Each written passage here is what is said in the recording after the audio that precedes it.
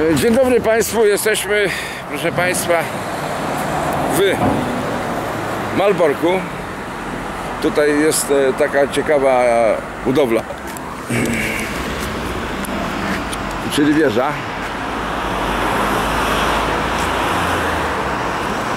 Wieża ta jest tutaj przy e, ulicy Suwalskiego.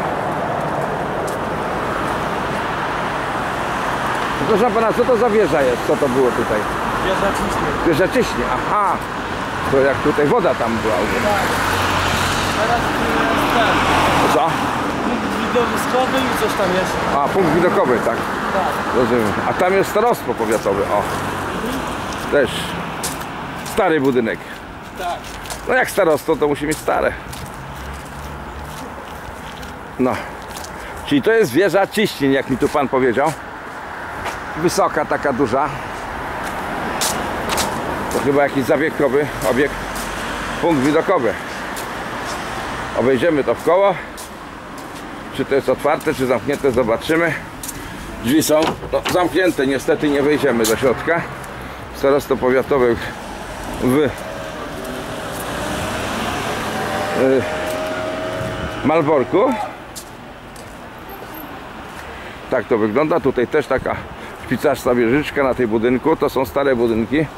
No starostwo powiatowe też ma stary budynek. Ulica Słowackiego. Wydział Komunikacji tu się mieści transportu. No i ta wieża ciśnień no, jest bardzo okazała i wielka. Jak widać pokażę ją trochę z oddali no bo ciekawe to jest ten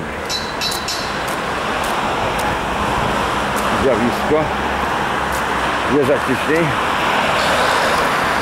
Malbork. Tutaj mamy sklep jakiś. No i tutaj proszę Państwa no ocieplają budynek jak widać.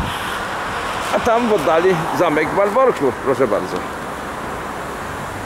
Tam widać chyba zamek Walborg. No, wieża ciśnień to jest duża budowla.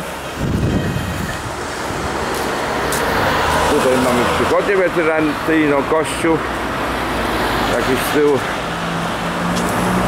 i pieski. O, karetka leci na sygnale.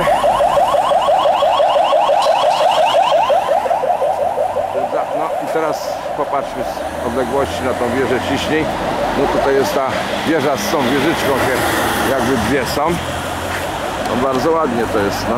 Duża, duża wieża. A pójdziemy też do starostwa powiatowego. Tylko ja samochód zamknę.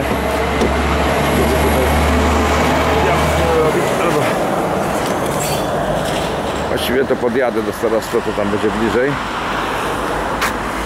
Także z Malborka e, no zwierzę ciśnień przy ulicy Słowackiego E, no chciałbym tam wejść, ale nie mogę, bo to jest punkt widokowy, ale zamknięte.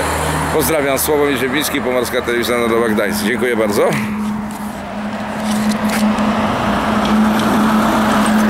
Jadą tiry, jadą tiry tutaj ze Sztum do Gruziądza droga prowadzi.